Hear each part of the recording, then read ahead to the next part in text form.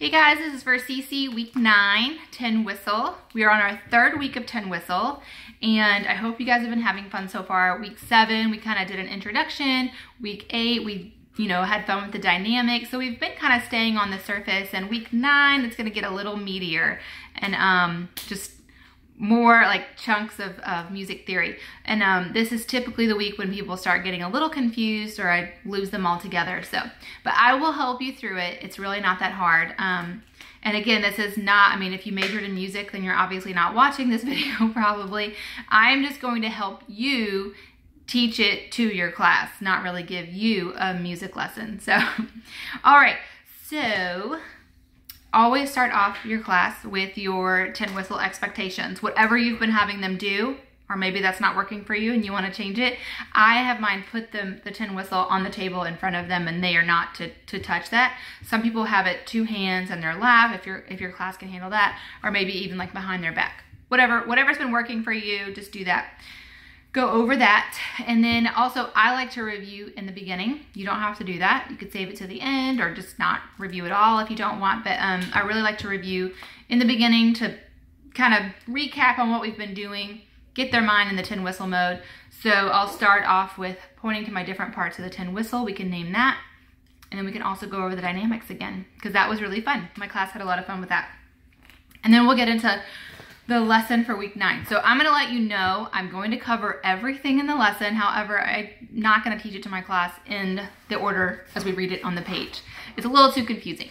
So I'm gonna start off with the naming portion where we sing the cycle song and we introduce the staff. And then you'll see that on expressing, which is next on the page, it has them playing their tin whistle and for the correct amount of beats of each note, but we haven't introduced it yet.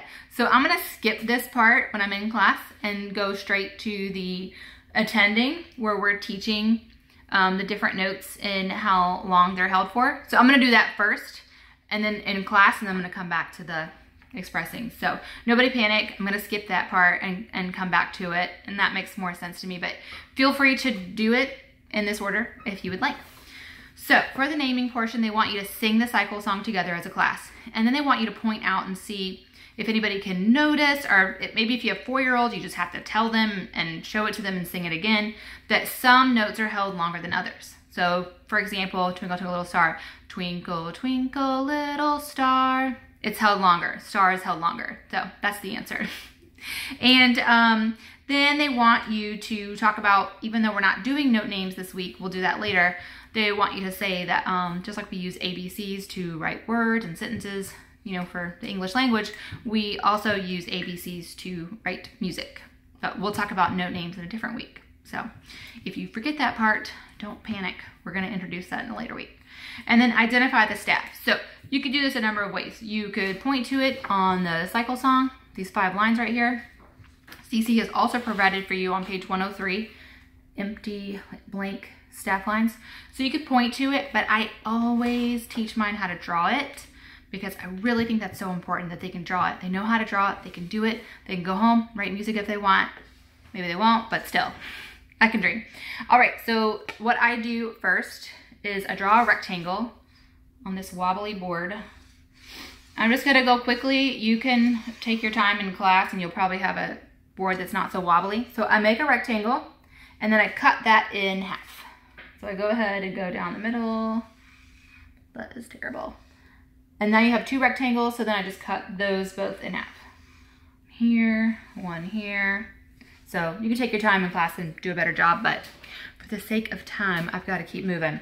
So now we have our five lines. One, two, three, four, five. And then later, we'll, when we introduce note names, we'll talk about how these are lines and these are spaces. So these are the spaces in between. So this is a staff. It has five lines. Draw it for them if you would like. You don't have to. I think it's so important for them to see how to draw one. And um, you can also point it, point it out on this if you want to make copies for your class. So moving on, again, I'm skipping the expressing portion and I'm going to page 95 on attending. At the top, you'll see the treble clefs, but that's not introduced until down here at the bottom. I'll show you how to draw one. And um, so let's go ahead to, it says distribute copies of blank staff paper. When I am teaching this, I just have all eyes on me. I do it on my board And then when we're done with the entire lesson, then I help them do it themselves. And I'm not gonna distribute the staff paper. I'm just gonna have them draw a staff. So it's very classical. They're doing it over and over and they're gonna learn how to do it themselves rather than just staring at one.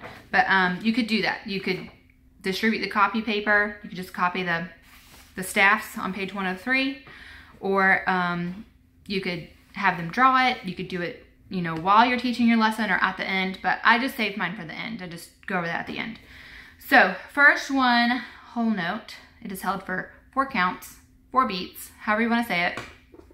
And it just looks like this. It's like an empty circle. And that is for four beats. And that could go anywhere on here, really. You could just put one on your staff if you'd like. So that's held for four beats. And this is the way I teach it. I don't do it. So CC is wanting you to just go ta like that to teach it, that it's for four beats. I don't find that my students have a connection that way. So I teach it the way that I learned it in all my years of music. So I just start it off, I say one, two, ready, play, and I keep the rhythm going, and then I just sing for four claps. If that, I'm just trying to help you teach it to your class. So um, it's four beats, but just do it for four claps like that. So it would look like this. One, two, ready, play. Ta. And then I stop. That way they see that the rhythm that we're gonna learn about next week is continuing to move on and I am just singing for four beats. Okay, does that make sense? I hope it makes sense. Then the next one is a half note. So it'll look like a whole note, but it has a stem on it. That's what that line is called. So that would look like this. Depending on where it is, it can also go down too, like that. And that is two. So I'll put one up here on the staff somewhere like that. That's for two beats. So the half note, I'm introducing it the way I like to, I would say one, two, ready, play. Ba. Just like that. So they can see it's two beats. It's half of what the whole note's getting. Okay, the next one is a quarter note. I know that's confusing. We think quarter, we think four, but um, it's just getting what it's for one beat. It's a quarter of the whole note. That makes sense. So um, that one's the same, just filled in, and the stem could go up or down. Draw either way that you want. So it's just filled in right here. That's gonna get one beat. I'll put one like right here, I guess. Put it on that staff. Okay, so I introduce that one. One, two, ready, play. Ba. Just one. One clap, one beat. Then we have the eighth note, and this is where people get a little confused. so the eighth note, when it's by itself, it's just like that quarter note where you have that filled in. You have the stem, and then you add a little flag like that. If you're drawing two together, you could do it like this and then they're connected. So that's two eighth notes. So for the eighth note, they are just getting half a beat. And people are like, how do you do half a beat? That's easy. So I, again, I'm not gonna teach you a music class. This is the best way for you to explain it to your class. If you wanna look into it more and study this a little bit more, go for it. I encourage you to do that. So for what you're going to say to your class is that it's for half a beat. What I'm going to tell you, just tutor to tutor, is in order to teach that to them and move on, because I know a lot of people that watch these videos, they're very nervous. They don't really want to get into more than what the lesson provides. So just tutor to tutor, don't say this to your class, but um, when you're clapping, go on the upbeat. Just sing it for only the upbeat. Does that make sense? So this is down, up, down. That was like a whole, like a whole beat. An eighth note only gets half of that. So it's not even going to be an entire clap, if you will. Like a quarter note would be like ba, but an eighth note is to be ba, like that. Just half. That's all you got to do. So if you're teaching that to your class when your hands are separated, then just do a quick note to teach that to your class. If you want to learn more about eighth notes, then you can go look online. Okay. All right. So that's this is how it would look. One, two, ready, play. ba, ba, ba. See, I'm just doing it really quick when my hands are separated so that you're teaching them that it's like half of a beat. You don't need to tell them all of that. I'm just telling you. So just tell them an eighth note gets half of a beat. So two eighth notes would be the same as a quarter note. Doing math today. All right. So, my eraser went. So now we would have this all on our board. If you have a bigger board, I'm gonna make mine much bigger because I have a much bigger board. I'm gonna leave space over here to draw a treble clef.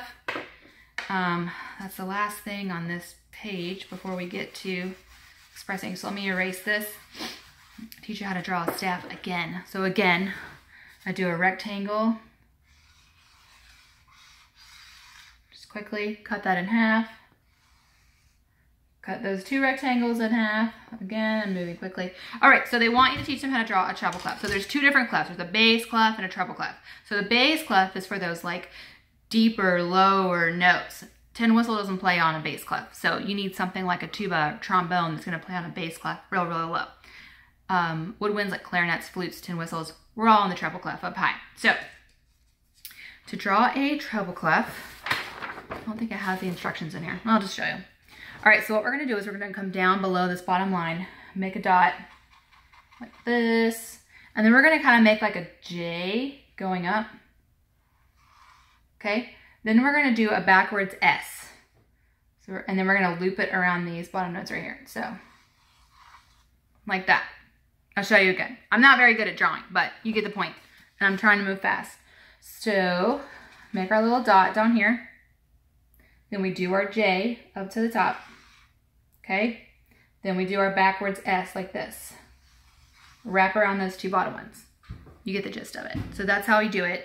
Can rewind if you need to look at it again. So you, sh you show them how to draw the treble clef. Now we can flip back to page 94 and go over expressing. So again, go over proper hand position. We want the left hand on top, the right hand on the bottom. We don't want elbows up on the table like this because then they're playing like this. That's bad airway. Um, so we want it at a 45 degree angle, just like this. And they want you to play a note. Again, if you're in the master's class, maybe you can make it through the scale. Maybe you can make it through Twinkle Twinkle Little Star, whatever you want to do.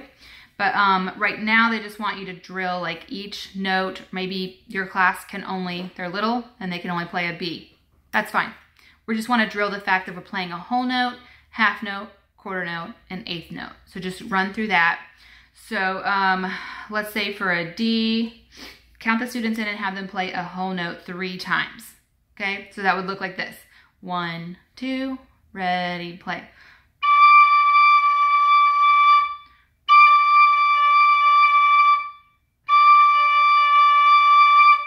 Okay, that might be really stressful. So if you have four-year-olds, maybe just have them do it one time. That might be too hard to keep them having, you know, have a rhythm and play four whole notes. So I think if you have four-year-old, you, you can just judge your class, maybe do it one whole note, two whole notes. But for the book, um, maybe for like masters and journeyman, you could probably try to teach them to do three of them. And then let's see, oh, I'll just do one of the half notes. So play a half note as they play each note. Ta, ta, like that. So all right, so it'd be one, two, ready, play. And that's how short it is, just two beats. And clap really loud, like keep the rhythm for them. You don't need to be playing with them. You need to be keeping the rhythm for them. And then a quarter note, it says three times. For the sake of time, I'm just gonna do like what I'm gonna do with my four-year-olds and just have them do it once. And then you can cut them off and start them again and say, okay, let's do another, let's do a quarter note again. I don't think, you know, for the really, really little classes, they're to be able to count that in their head and do three quarter notes. But, um, all right, so quarter note, one, two, ready, play. So that would be three quarter notes that I just played. And then for the eighth note, again, on the upbeat, okay, so they want to play eighth note three times. Okay, one, two, ready, play. Just real short like that on the upbeat every time. Boom, boom, boom, boom, like that. I hope that that makes sense. So then you can go through, you can maybe do like an A, go through it again if you want. Just totally, you can judge your class if it took a lot of time to get through all the notes playing a D or a B and you're just, you're done, you're running out of time, then move on. You drilled it and you can move on. Um, master's class, they might have a lot of fun going through the scale, drilling those whole notes, half notes, quarter notes, eighth notes. And then, um, so at the very, very end, I'm just going to, um, I'm going to distribute blank pieces of paper. You could do the, the staff paper if you want to, but mine are going to get a blank piece of paper. I'm going to erase my board and I'm going to start over. And I'm going to say, okay, this is how we draw a staff. And I'm going to walk them through it step by step to draw your rectangle. Then cut that in half, cut those two in half. And then I'm going to show them again how to do the treble clef, let them do it. And then I'm just going to go step by step. Okay, so now we're going to draw a whole note. It looks like this. How many beats does it get? Four. Um, and just go through each one like that so that we're reviewing, they're drawing it, they're doing it. And that's pretty much it. I really hope that this helps. If you guys have any questions, please let me know. It makes sense in my brain and I'm trying to communicate that to you guys. it doesn't make sense to. You. So I hope I wasn't too confusing. And at the end of the day, just have fun. They're being exposed to music. They're being exposed to vocabulary and that's what's most important. So, all right guys, have fun.